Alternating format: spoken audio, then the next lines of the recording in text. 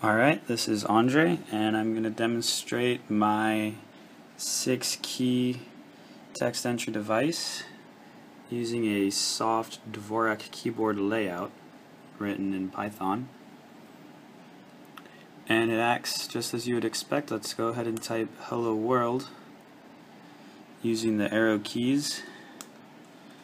We can move around. Use the select button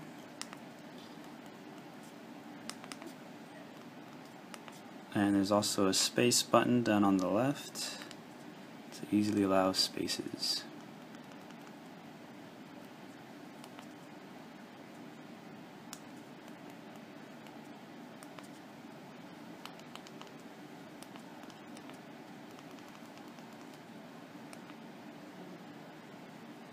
And there's hello